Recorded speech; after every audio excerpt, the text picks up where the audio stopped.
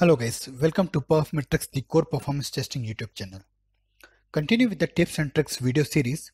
In this video, I will provide the information on how to calculate dynamic pacing in performance testing.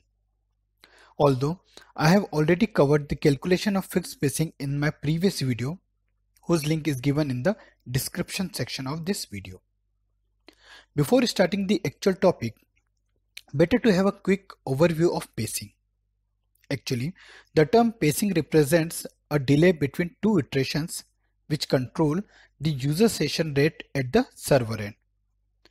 Pacing is also used to control the transaction per second to achieve the defined transaction rate in the NFR list. Another important purpose of pacing is to save the system from unrealistic creation of back-to-back -back user session. Now, let's have a look at the type of pacing. So there are two types of pacing. First is a delay or fixed pacing in which a fixed period of delay is given between two iterations and it can be directly calculated by a given formula. That is number of users divided by iterations per second subtracted by the sum of iteration response time and total think time. The second type of pacing is interval or dynamic pacing. Practically, we cannot calculate dynamic pacing directly due to its varying nature. Hence, we calculate the required time taken by an iteration to complete.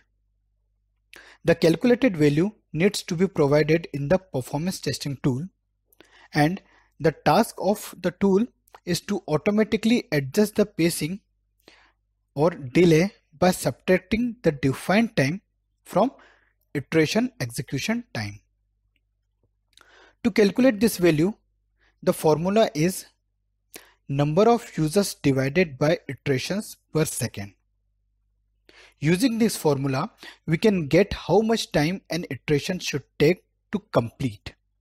And this time includes response time of all the requests, total think time, and dynamic pacing. Now let's see what are the inputs required to calculate and then verify the calculated dynamic pacing. So there are four inputs which are number of user. This number can uh, you can get from NFR, iterations per second. Again, this number you can get from NFR, response time that is total time taken by an iteration to complete. This time you can get by running the script once without any think time. And the last one is total think time. For that, you can sum up all the think time or delay between two iteration which you have used in the script. Now put the number of users and iterations per second values in the formula and calculate the time taken by one iteration. Here we got 120 seconds value in which an iteration must be completed which includes the sum of response time of all the requests, total think time and dynamic pacing.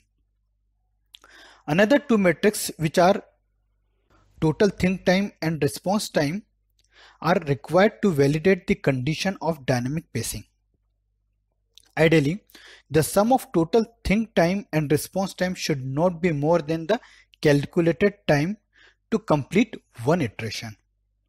In this case, the sum of total think time and response time is 50, where time to complete one iteration is 120 seconds, which is more than 50.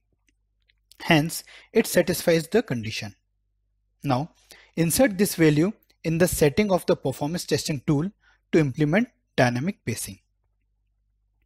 Before going to see how to implement pacing logic in the performance testing tool, let's see the demonstration. So here you can see once the iteration along with think time is completed, then the performance testing tool waits for 70 seconds before starting the second iteration. So in the ideal case, we can get the total execution time is 360 seconds. But practically response time varies due to various performance issues, which is adjusted by dynamic pacing. and keep the total execution time same which does not impact to TPS or transaction per second. Now there are three possible cases for dynamic pacing. Case 1. This is an ideal condition when the time to complete one iteration is more than the sum of response time and total think time. In case the response time is increased until condition false, then dynamic pacing adjusts it and the tool will wait for the remaining time before triggering next iteration. During the load test, if this condition satisfied, then there is no impact on TPS. Case 2.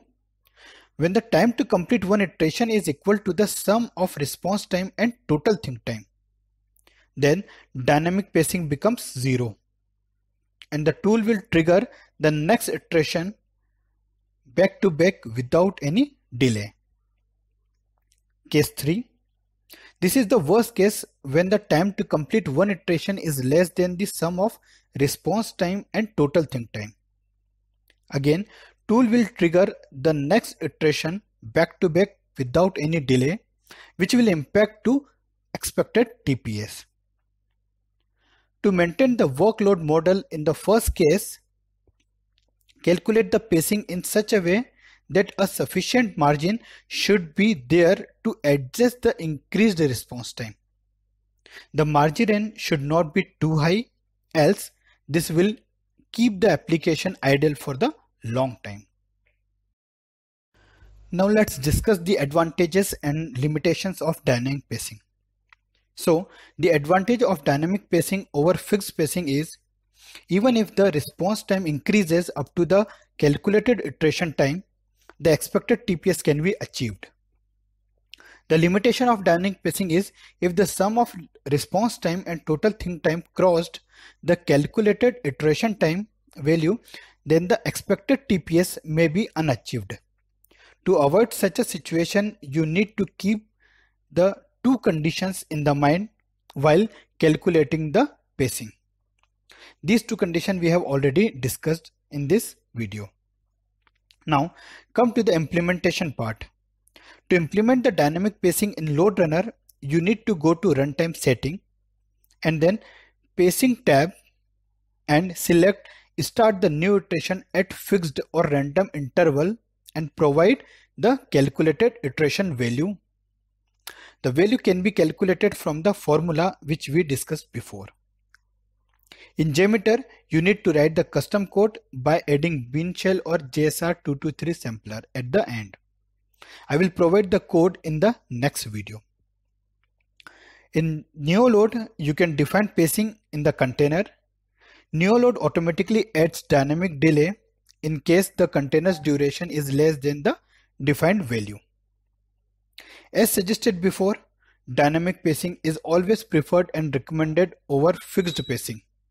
Hence, it is good to choose dynamic pacing option in your performance test.